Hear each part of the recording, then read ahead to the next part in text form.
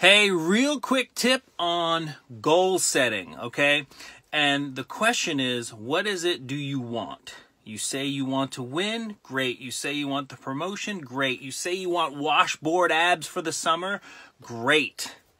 But let's be clear the want, the goal, the expectation, okay? I want washboard abs, I want to win the goal, the expectation. Okay. So I set it up like that because I feel like the want is the carrot. It's that thing that's going to drive you to do and reach the goals. Now, what are the goals? Most people would say that the goal is the washboard abs or to win the race or to get the big check.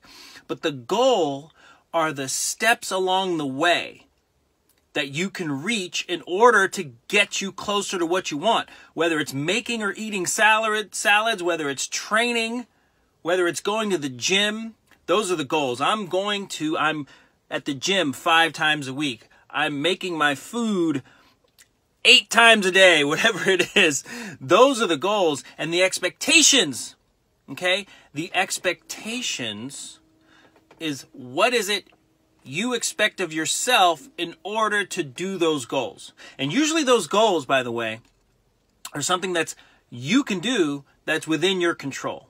So we reach these goals in order to get what we want. And the expectation is that we do the work and possibly even think a certain way so that we can reach our goals and get what we want. Now, once we get what we want, maybe that brings us to another hilltop or place and we look at the lay of the land and we say, okay, I want that now, right? And that big thing that you wanted was just a goal that you had already reached on your way to something else.